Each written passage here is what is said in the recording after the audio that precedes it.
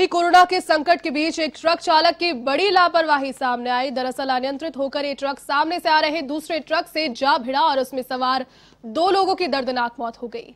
हादसा राजसमंद ज़िले के भीम उपखंड क्षेत्र में राष्ट्रीय राजमार्ग आज पर शुक्रवार सुबह बधाना के निकट हुआ, जहाँ पर एक ट्रक में सवार दो लोगों की मौके पर ही मौत हो गई और करीब दस लोग इस हादसे में घायल भी हो गए।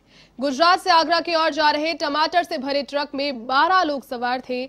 उनमें से दो युवकों की घटनास्थल पर ही मौत हो गई, जबकि घायलों को देवगढ़ चिकित्सालय में भर्ती कराया गया, जहाँ प्राथमिक उपचार के दौरान छह गंभीर रूप से घायलों को राजसमंद के लिए रेफर कर दिया गया।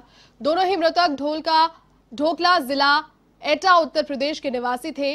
मृतकों के शव चिकित्सालय में मोर्चे में रखवाए गए हैं। इसके बाद पुलिस ने मृतकों और घायलों के परिजनों को इस हादसे की सूचना दी। आपको बता दें, ये ट्रक गुजरात से टमाटर लेकर आ रहा था और इसके ड्राइवर ने लॉकडाउन का उल्लंघन करते हुए उत्तर प्रदेश के निवासियों को भी ट्रक में बिठा लिया था। इस मामले में दिवेर पुलिस ने मामला दर्ज कर लिया है और मामले का अनुसंधान अब पुलिस के द्वारा शुरू कर दिया गया है। बागना के पास में जो एक्सीडेंट हुआ है सर अभी दर्दनाक तो उसमें क्या कहाँ से आ रहे थे ये लोग और कैसे क्या एक्सीडेंट हुआ सर?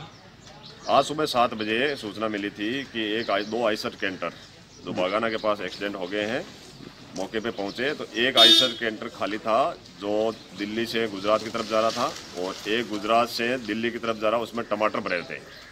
तो जिसके अंदर दस पैसेंजर थे पीछे ट्रक के पीछे बैठे थे जो घायल हो गए और खलासी और ड्राइवर भी घायल हुए हैं। कुल दस घायल और दो की मृत्यु होगी।